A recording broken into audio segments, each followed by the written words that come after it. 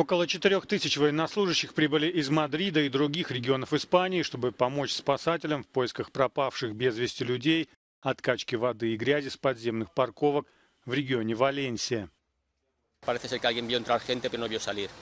Entonces, en este momento no sabemos. Y hasta que lleguemos abajo y podamos comprobar, no sabremos a ciencia cierta. El caso es que eh, bien es cierto que el agua entró con tanta virulencia que arrastró todo, arrastró todo hasta el fondo. В воскресенье были обнаружены тела еще троих погибших. Таким образом, число жертв наводнения достигло 217. Больше всего людей погибло в восточной части Валенсии, где наводнение, по словам очевидцев, было похоже на цунами. В регионе ожидаются новые сильные дожди. Власти объявили предупреждение о непогоде, рекомендуют жителям оставаться дома и избегать поездок на автомобилях.